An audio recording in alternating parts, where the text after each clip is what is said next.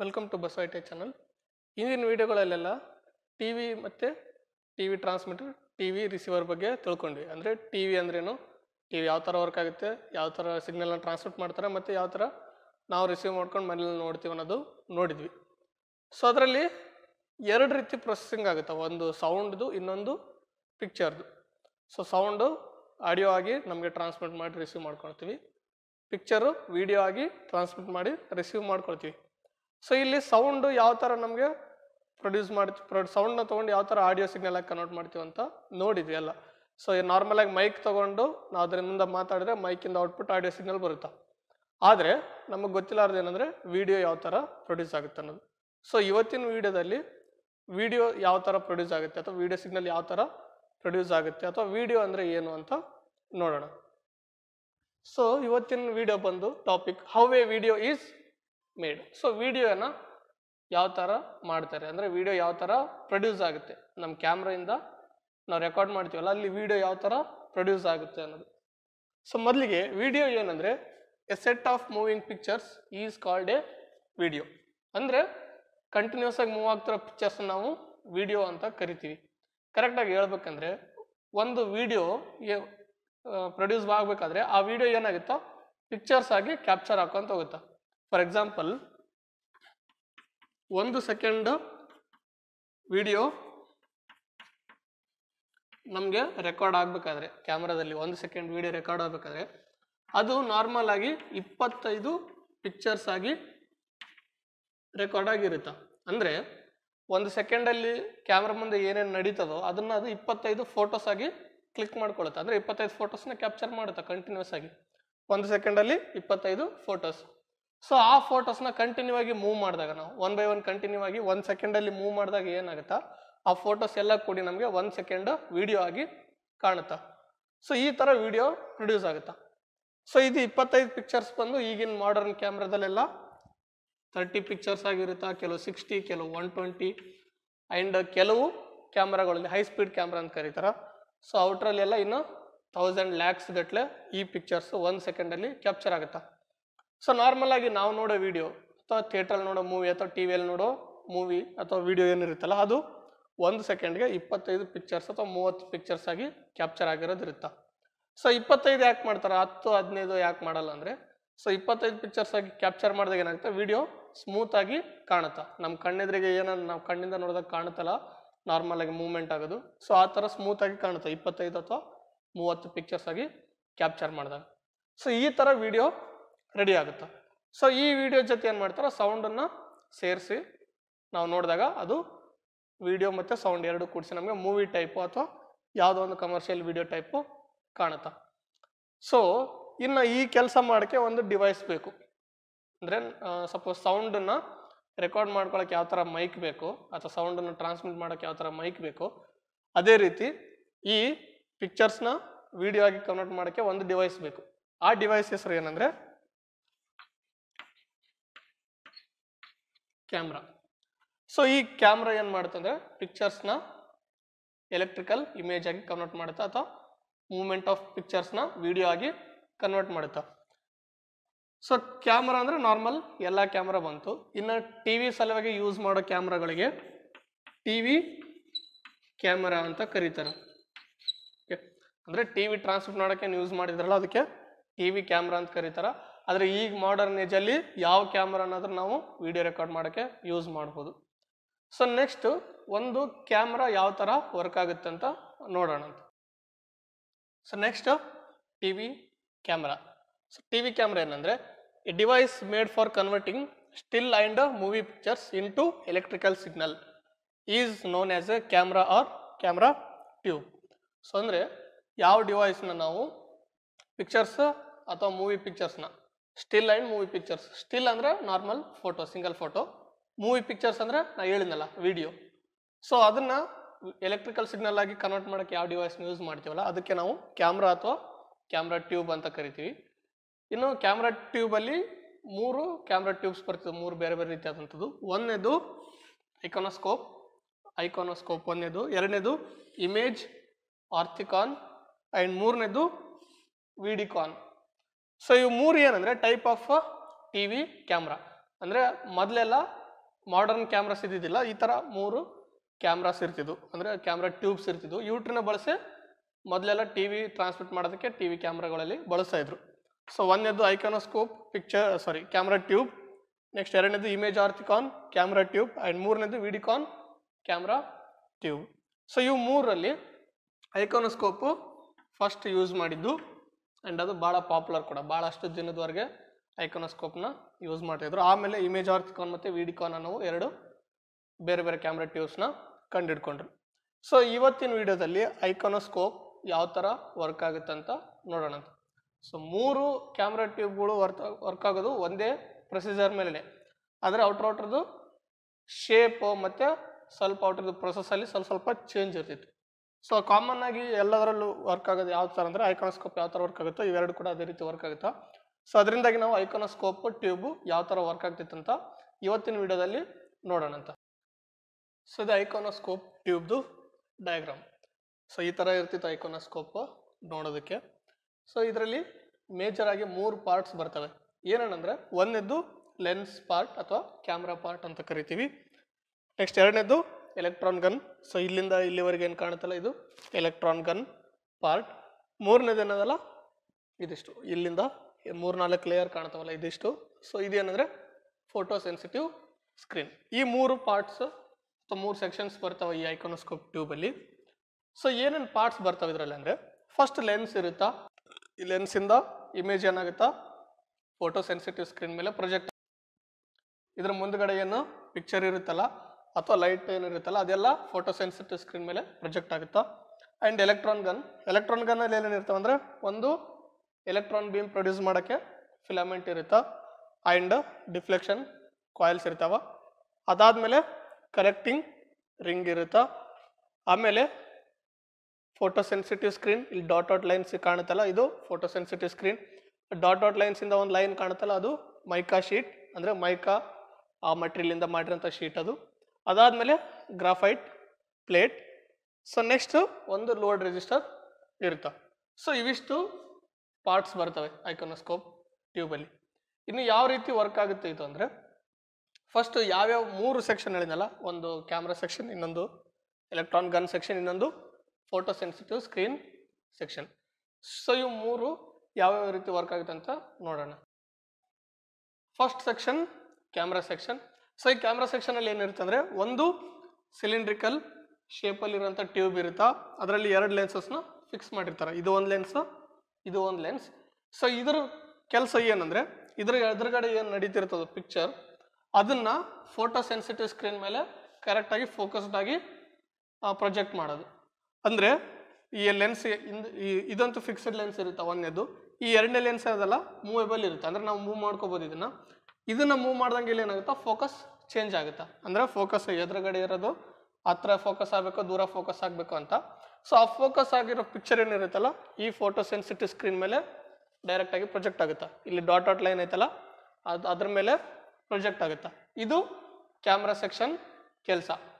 Next ಎರಡನೇ section ಏನಂದರೆ electron gun section ಈ ಎಲೆಕ್ಟ್ರಾನ್ ಗನ್ ಏನು ಮಾಡುತ್ತಂದ್ರೆ ಎಲೆಕ್ಟ್ರಾನ್ ಬೀಮ್ನ ಪ್ರೊಡ್ಯೂಸ್ ಮಾಡುತ್ತಾ? ಎಲೆಕ್ಟ್ರಾನ್ ಬೀಮ್ನ ಪ್ರೊಡ್ಯೂಸ್ ಮಾಡಿ ಅಲ್ಲಿ ನೆಕ್ಸ್ಟ್ ಡಿಫ್ಲೆಕ್ಟಿಂಗ್ ಕಾಯಿಲ್ಸ್ ಇರ್ತಾವೆ. ಆ ಡಿಫ್ಲೆಕ್ಟಿಂಗ್ ಕಾಯಿಲ್ಸ್ ಏನು ಮಾಡುತ್ತೆ? ಈ ಎಲೆಕ್ಟ್ರಾನ್ ಬೀಮ್ನ ಮೇಲಿಂದ ಕೆಳಗೆ ಮತ್ತು ಎಡದಿಂದ ಬಲಿಕೆ. ಎಲ್ಲ ಡೈರೆಕ್ಷನಲ್ಲಿ ಮೂವ್ ಮಾಡೋಕ್ಕೆ ಈ ಡಿಫ್ಲೆಕ್ಟಿಂಗ್ ಕಾಯಿಲ್ಸ್ ಯೂಸ್ ಆಗ್ತವೆ. ಇನ್ನು ಈ ಎಲೆಕ್ಟ್ರಾನ್ಗಳನ್ನ ಎಲೆಕ್ಟ್ರಾನ್ ಗನ್ನಿಂದ ಪ್ರೊಡ್ಯೂಸ್ ಆದಂಥ ಎಲೆಕ್ಟ್ರಾನ್ ಬೀಮ್ ಫುಲ್ ಶಾರ್ಪ್ ಆಗಿರುತ್ತೆ ಮತ್ತು ಫೋಕಸ್ಡ್ ಆಗಿ ಇರುತ್ತೆ.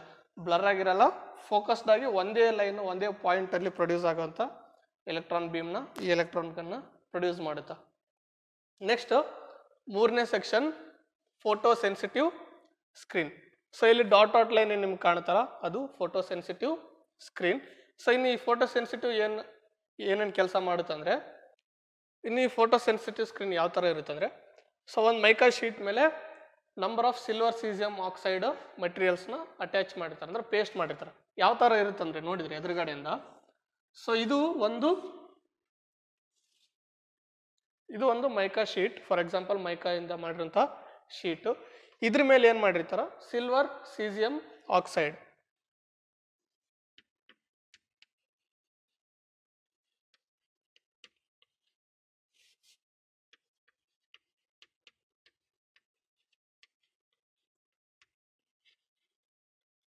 so silver caesium ಆಕ್ಸೈಡ್ನ ಏನು ಮಾಡಿರ್ತಾರೆ, ಈ ಮೈಕಾ ಶೀಟ್ ಮೇಲೆ ಲೈನ್ ಲೈನ್ಸ್ ಆಗಿ ಅಟ್ಯಾಚ್ ಮಾಡಿರ್ತಾರೆ. ಯಾವ ಥರ ಅಂದರೆ ಸೊ ಈ ಥರ ಲೈನ್ ಬೈ ಲೈನ್ ಅಟ್ಯಾಚ್ ಮಾಡಿರ್ತಾರೆ. ಅಂದರೆ ಪೇಸ್ಟ್ ಮಾಡಿರ್ತೀರಿ. ಸಿಲ್ವರ್ ಸಿಕ್ಸಮ್ ಆಕ್ಸೈಡ್ ಪೌಡರ್ನ ಈ ಲೈನ್ ಬೈ ಲೈನ್ ಈ ಮೈಕಾ ಶೀಟ್ ಮೇಲೆ ಪೇಸ್ಟ್ ಮಾಡಿರ್ತಾರೆ. ಸೊ ಎಷ್ಟು ಲೈನ್ಸ್ ಇರ್ತಾವೆ ಅಂದರೆ ಸಿಕ್ಸ್ ಟ್ವೆಂಟಿ ಫೈವ್ ಲೈನ್ಸ್ ಇರ್ತಾವೆ.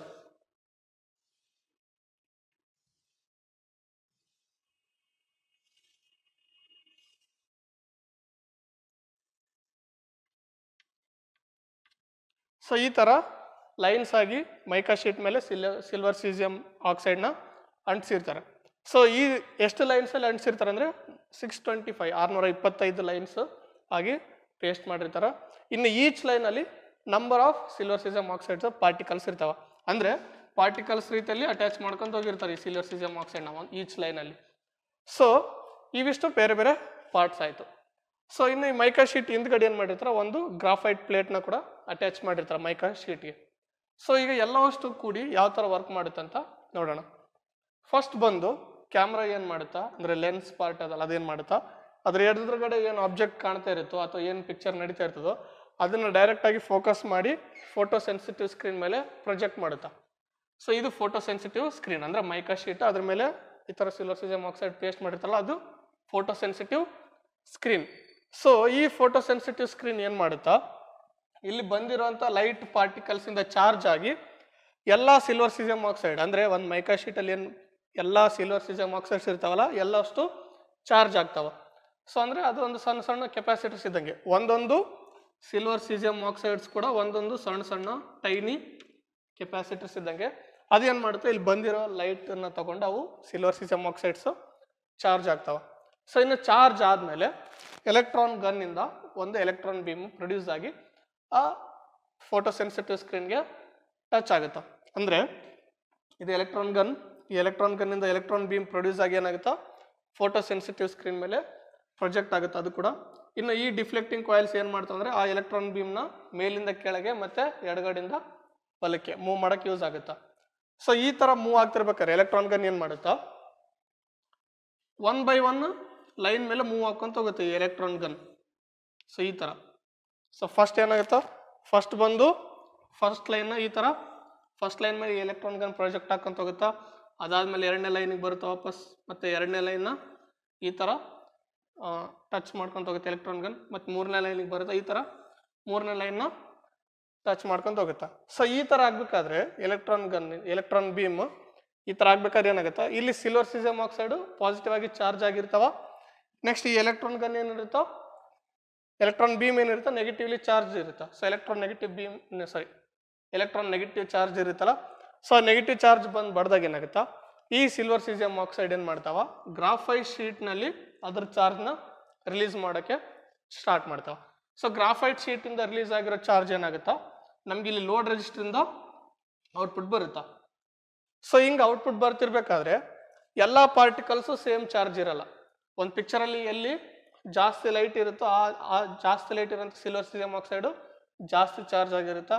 ಎಲ್ಲಿ ಕಡಿಮೆ ಲೈಟ್ ಇರುತ್ತೋ ಅಲ್ಲಿ ಕಡಿಮೆ ಚಾರ್ಜ್ ಆಗಿರ್ತಾವೆ ಟೈ, ಈ ಸಿಲ್ವರ್ ಸಿಲಿಯಮ್ ಆಕ್ಸೈಡ್ಗಳು ಸೊ ಆ ರೀತಿ ಹಿಂಗ ಒಂದಕ್ಕೊಂದು ಸ್ಕ್ಯಾನ್ ಮಾಡ್ಕೊಂಡು ಬಂದಾಗ so each silver caesium oxide output ಏನಾಗಿರುತ್ತೋ ಡೈರೆಕ್ಟಾಗಿ ನಮಗೆ ಇಲ್ಲಿ ಲೋಡ್ ರೆಜಿಸ್ಟ್ರಿಂದ ಬರ್ತಾ ಇರುತ್ತೆ.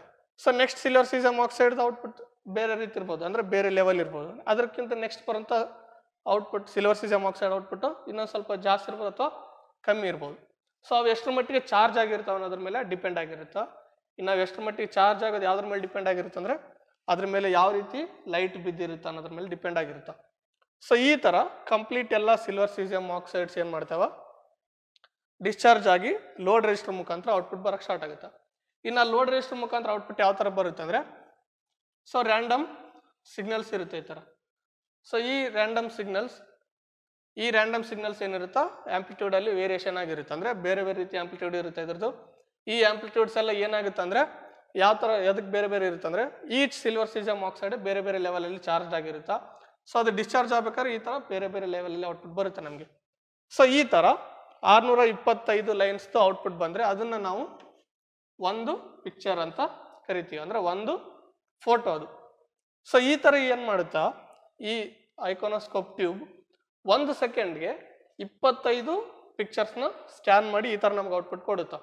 ಅಂದರೆ ಒಂದು ಈ ಒಂದು ಪ್ರೊಜೆಕ್ಟ್ ಆಗಿರೋಂಥ ಪಿಕ್ಚರ್ ಆರುನೂರ ಇಪ್ಪತ್ತೈದು ಲೈನ್ಸ್ ಆಗಿ ಡಿವೈಡ್ ಆಗುತ್ತಾ, ಆ ಆರುನೂರ ಇಪ್ಪತ್ತೈದು ಲೈನ್ಸು ಸ್ಕ್ಯಾನ್ ಮಾಡಿದ ಮೇಲೆ ಆ ಪಿಕ್ಚರ್ ಮುಗೀತು. ನೆಕ್ಸ್ಟ್ ನೆಕ್ಸ್ಟ್ ಪಿಕ್ಚರ್ ಪ್ರೊಡ್ಯೂಸ್ ಆಗುತ್ತಾ. Electron beam last line produce scan ಮಾಡಿದ ತಕ್ಷಣ ಏನಾಗುತ್ತಾ, ನೆಕ್ಸ್ಟ್ ಪಿಕ್ಚರ್ ಪ್ರಾಜೆಕ್ಟ್ ಆಗುತ್ತೆ ಇಲ್ಲಿ.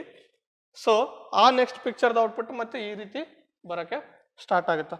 ಸೊ ಇದಿಷ್ಟು ಯಾವ ಥರ ನಡೀತಿರ್ತಂದ್ರೆ ಒಂದು ಸೆಕೆಂಡ್ಗೆ ಇಪ್ಪತ್ತೈದು ಪಿಕ್ಚರ್ಸ್ನ ಸ್ಕ್ಯಾನ್ ಮಾಡಿ ನಮಗೆ ಇಲ್ಲಿ ಲೋಡ್ ರಿಜಿಸ್ಟರ್ ಮುಖಾಂತರ ವಿಡಿಯೋ ಸಿಗ್ನಲ್ ಆಗಿ ಔಟ್ಪುಟ್ ಬರ್ತಾ ಇರುತ್ತೆ. ಸೊ ಈ ಥರ ಒಂದು ವಿಡಿಯೋ ಸಿಗ್ನಲ್ ರೆಡಿ ಆಗುತ್ತೆ.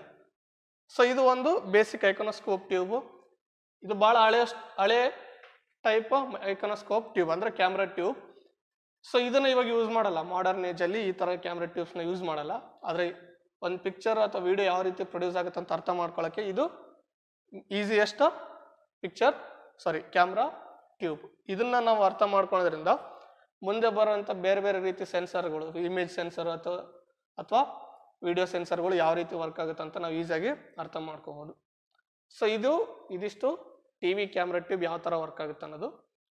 ನೆಕ್ಸ್ಟ್ ಸ್ಕ್ಯಾನಿಂಗ್ ಸೊ ಸ್ಕ್ಯಾನಿಂಗ್ ಏನಂದರೆ the process of producing video signal by reading the picture elements by using electron beam is called scanning so ಏನು ಸ್ಕ್ಯಾನಿಂಗ್ ಅಂದರೆ the process of producing video signal by reading the picture elements so ಇಲ್ಲಿ picture ಎಲಿಮೆಂಟ್ಸ್ನ read ಮಾಡ್, ಮಾಡಿಕೊಂಡು ಅದರಿಂದ video signal produce ಆದರೆ ಅದಕ್ಕೆ scanning ಅಂತ ಕರಿತೀವಿ.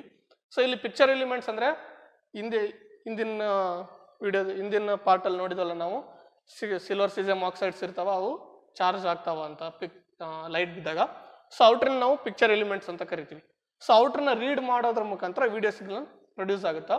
ಇನ್ನು ಔಟ್ರನ್ನ ರೀಡ್ ಮಾಡಬೇಕಾದ್ರೆ ನಮಗೆ ಒಂದು ಎಲೆಕ್ಟ್ರಾನ್ ಬೀಮ್ ಬೇಕಾಗುತ್ತೆ. ಸೊ ಈ ಎಲೆಕ್ಟ್ರಾನ್ ಬೀಮ್ ಮುಖಾಂತರ ಪಿಕ್ಚರ್ ಎಲಿಮೆಂಟ್ಸ್ನ ಸ್ಕ್ಯಾನ್ ಮಾಡಿ ವಿಡಿಯೋ ಸಿಗ್ನಲ್ ಪ್ರೊಡ್ಯೂಸ್ ಮಾಡಿದ್ರೆ ಅದಕ್ಕೆ ಸ್ಕ್ಯಾನಿಂಗ್ ಅಂತ ಕರಿತೀವಿ. ಅಥವಾ ಸ್ಕ್ಯಾನಿಂಗಿಗೆ ಇನ್ನೊಂದು ರೀಡಿಂಗ್ ಅಂತಲೂ ಕರೀತಾರೆ.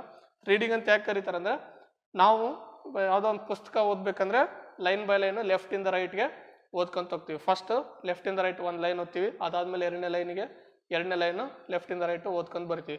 ಸೊ ಅದರಂಗೆ ಸ್ಕ್ಯಾನಿಂಗ್ ಕೂಡ ಅಷ್ಟೇ. ಒಂದು ಪಿಕ್ಚರ್ನ ಸ್ಕ್ಯಾನ್ ಮಾಡ್ಬೇಕಾದ್ರೆ ಅದೇನಾಗುತ್ತಾ ಫೋಟೋ ಸೆನ್ಸಿಟಿವ್ ಸ್ಕ್ರೀನ್ ಮೇಲೆ ಆರುನೂರ ಇಪ್ಪತ್ತೈದು ಲೈನ್ಸ್ ಆಗಿ ಡಿವೈಡ್ ಆಗುತ್ತಾ? ಸೊ ಈ ಆರುನೂರ ಇಪ್ಪತ್ತೈದು ಲೈನ್ಸ್ ಏನಾಗುತ್ತೆ ಅಂದರೆ ಎಲೆಕ್ಟ್ರಾನ್ ಬೀಮ್ ಏನು ಮಾಡುತ್ತಾ? ಒನ್ ಬೈ ಒನ್ ಲೈನ್ನ ಓದ್ಕೊಂತ ಬರುತ್ತಾ? ಅಂದರೆ ರೀಡ್ ಮಾಡ್ಕೊಂಡು ಬರುತ್ತಾ? ಸೊ ಹಂಗೆ ರೀಡ್ ಮಾಡ್ಬೇಕಾದ್ರೆ ಅಲ್ಲಿ ಸಿಲ್ವರ್ ಸಿಜಮ್ ಆಕ್ಸೈಡ್ಸ್ ಇರ್ತಾವ, ಅಂದರೆ ಪಿಕ್ಚರ್ ಎಲಿಮೆಂಟ್ಸ್ ಇರ್ತಾವ. ಆ ಪಿಕ್ಚರ್ ಎಲಿಮೆಂಟ್ಸ್ ಡಿಸ್ಚಾರ್ಜ್ ಆಗಿ ಲೋಡ್ ರಿಜಿಸ್ಟರ್ ಮುಖಾಂತರ ನಮಗೆ ವಿಡಿಯೋ ಸಿಗ್ನಲ್ ಆಗಿ ಔಟ್ಪುಟ್ ಬರುತ್ತಾ?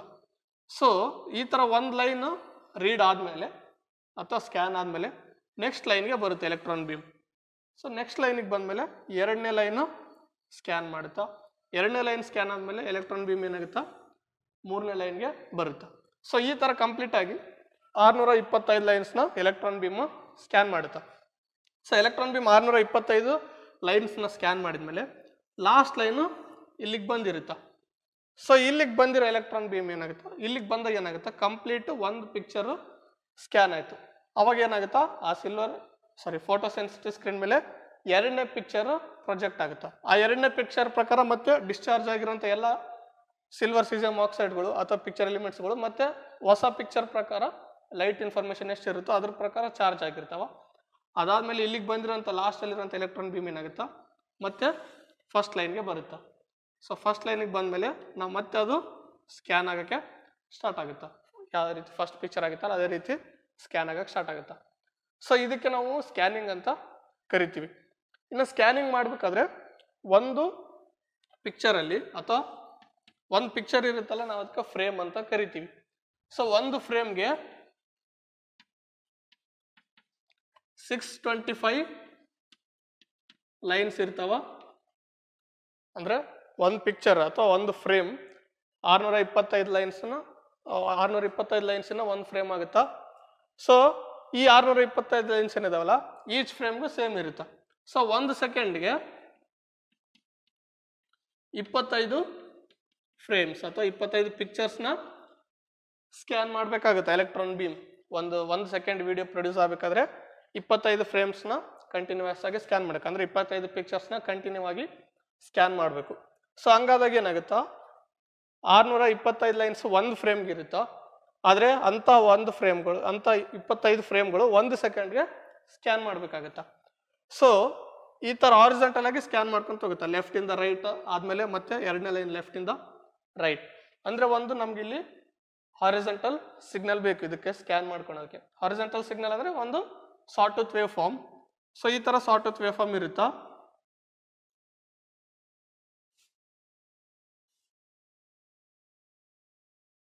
ಸೊ ಇದು ಸಾಟೂತ್ ವೇವ್ ಫಾರ್ಮ್ ಸೊ ಇದು ಏನಂದ್ರೆ ಹಾರಿಜೆಂಟಲ್ ಆಗಿ ಒನ್ ಬೈ ಒನ್ ಲೈನ್ನ ಸ್ಕ್ಯಾನ್ ಮಾಡ್ಕೊಂಡು ಹೋಗೋಕ್ಕೆ ಯೂಸ್ ಆಗುವಂಥ ವೇವ್ ಫಾರ್ಮ್ ಇದನ್ನೇನು ಮಾಡ್ತೀವಿ? ಡಿಫ್ಲೆಕ್ಷನ್ ಕಾಯಿಲಿಗೆ ಕೊಡ್ತೀವಿ ನಾವು ಹಾರಿಜೆಂಟಲ್ ಡಿಫ್ಲೆಕ್ಷನ್ ಕಾಯಿಲ್ಗೆ ಅದೇನು ಮಾಡುತ್ತೆ? ಎಲೆಕ್ಟ್ರಾನ್ ಬೀಮ್ನ ಹಾರಿಜೆಂಟಲ್ ಆಗಿ, ಅಂದರೆ ಲೆಫ್ಟಿಂದ ರೈಟ್ಗೆ ಮತ್ತು ರೈಟಿಂದ ಲೆಫ್ಟ್ಗೆ ಮೂವ್ ಮಾಡ್ಕೊಂಬರಕ್ಕೆ ಯೂಸ್ ಆಗುತ್ತಾ.